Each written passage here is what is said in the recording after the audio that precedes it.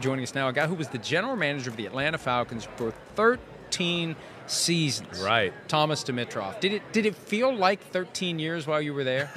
Sometimes it felt like many, many more, as you Right. can imagine. You're on the hot seat every year there for some reason. I don't know why, but it, you know, look, it's gone by. I miss it. I miss the euphoria of winning, not the losing. But as I said before, the, the losing became more difficult as you went on in those 13 years, and the winning was less uh, enjoyable. Yeah. That's what happened to Parcells. He got to the point where the despair of losing outweighed dramatically Right. the thrill of victory, and that's when he decided he had enough. It's a great point. Yeah, what it was so, you know, like I miss playing, right? I miss the camaraderie, the adrenaline of running on the field, right? And just nothing can like do, you know, replicate that. Sure. As a GM, like what is it that you miss, right? Like what is it the aspect uh, you know that I kind of portrayed as a player that goes into a GM? Yeah, look, I, I think honestly, I think it's the off season when you truly are building, right? Right. You're you're putting it all together, and you're you're actually being able to spend that much more time with your head coach. Of course, you love the games, but there's nothing like that time. That The stretch, project of building the together. project of building, Right. yeah. And and I I do. I mean, the, you know, I think it was Ernie Accorsi who said he used to stand in the in the back, eh, you know, back ways of the of the games. The games were tough as it went on longer and longer. You, you know, I kind of I wish that it was sort of like basketball. My good friend R.C. Buford, he doesn't travel to all the games, right? They don't have that many games in, or they have that many more games in the NBA. Yeah. You could never do that in the NFL, but. I, I didn't miss that later on. You get people throwing literal or figure, figurative darts, and it, it just got a little bit old that way. Right. I think there's really good people in this league and really smart and good and talented GMs.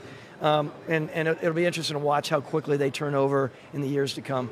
Now that you've been out of it for a couple of years, and this is a conversation we've had in the past, and it really is odd to me how it's developed to the point in the NFL where, as a GM, you get one shot, and then it's like you were never even there. Like your, your name never even comes up. And these guys, and I feel bad when the text messages are exchanged among my writers as to so and so is interviewing for this GM job, and I'm like, I don't know who that is. Yeah. Yes. Right.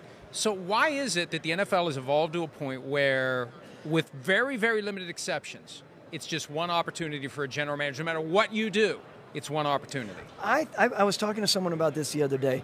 Head owners look at head coaches around the league and they know their head coach's style.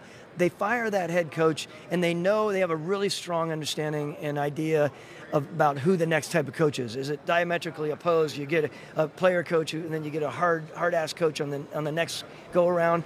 I don't think with GMs they have that same view. They're like, all right, they're not they don't know about the other G- GMs around the league. They don't know their styles. So someone could interview you, but they don't have the same grasp like they would re or hiring another head coach that was at another team.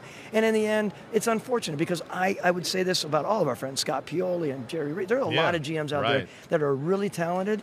And they've learned they're that much better after their experiences, course, right? To think right. that they're not is is to me it's I think it's I don't know, I just think it's wrong. It's, yeah. it's so you're, you're you're so you're saying there's just it is wrong. There's no doubt Yeah. about it.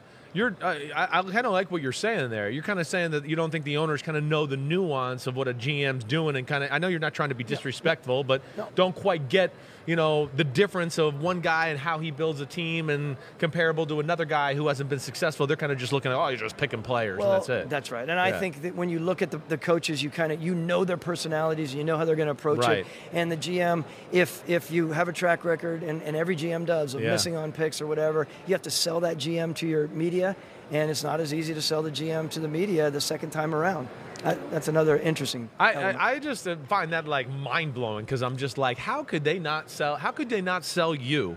And all the damn good players they have with the Fal- you guys had with the Falcons, how relevant you were, the NFC Championship appearances, up 28 to 3, sorry to bring up the bad memory, right? Right, all of those things and I just I just I don't get it. It's, it was something we talk about, you know, quite often and uh, coaches get a second chance.